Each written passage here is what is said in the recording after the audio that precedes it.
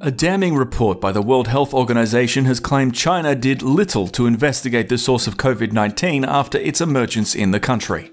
WHO mission leader Dr. Peter Ben Embarek, who travelled to China to investigate COVID's origins, wrote in his report that it appears little had been done in terms of epidemiological investigations around Wuhan since January 2020.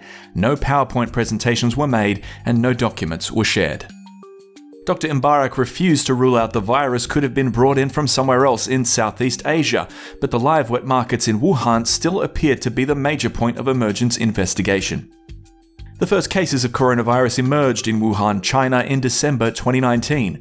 China has continually claimed that the virus was circulating in other parts of the country, with officials even pointing the finger at countries like Australia by claiming the virus was brought in through imported seafood and beef.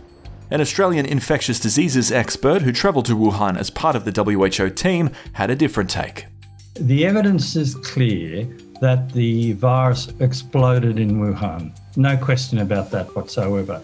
The tricky part is trying to understand what happened just before that. And obviously, something was going on. To be honest, the data to say that it started elsewhere is limited.